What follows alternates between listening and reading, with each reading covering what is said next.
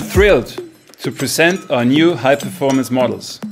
With these bikes, we are pushing the limits of what's possible and emphasizing our claim to design and innovation leadership in the motorcycle industry. With the new BMW S1000RR, we are once again setting a new benchmark among superbikes. It combines everything you expect from a real superbike.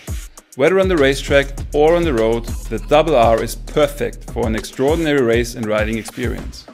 The clear market leadership of our S1000RR in the global superbike segment is an impressive proof of its outstanding performance. And now coming to the new BMW M1000RR, the ultimate performance superbike.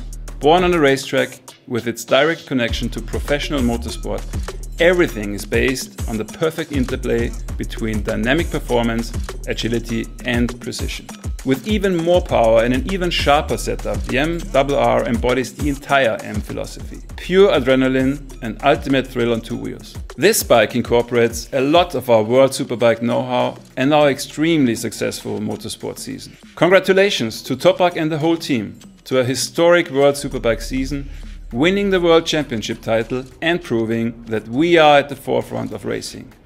Toprak and Michael have had the opportunity to test these serial bikes and here are their impressions.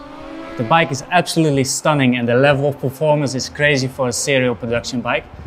I cannot wait to see the design on 2025 World Superbike bikes. Thanks Marcus and the team for all the effort in motorsport. Here are the facts.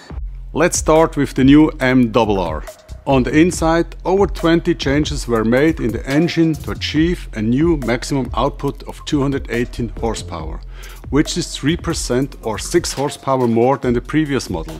The changes include a new geometry of the cylinder head channels, bigger airbox, new butterflies, new geometry of the intake valve, new pistons, new clutch, new spark plugs and a new exhaust headers for more power and torque of more than 100 Newton meters from around 6000 till 15,100 RPM. And the list goes on. In conclusion, the engine is developed for more maximum performance in the World Superbike. The second big change for the new MRR is in the mainframe, which is now optimized for stiffness and flexibility.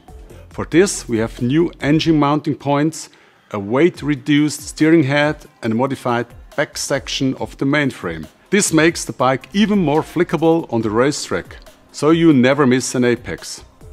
The fairing features the third generation of the M winglets, which now produce a maximum downforce of 21 kg at 250 and 30 kg at 300 km per hour, generating more stability and keeping the front wheel longer on the tarmac. The MRR comes available in two variants, light white Uni M Motorsport color and the M competition package with carbon and forged parts in the Blackstorm metallic.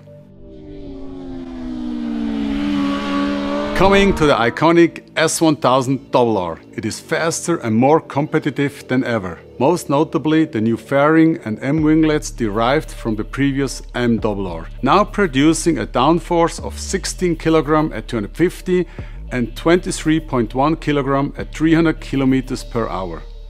For maximum braking performance, brake ducts have been integrated for better cooling of the M brakes. For more control, the M Endurance seat can also be optional fitted in the M package.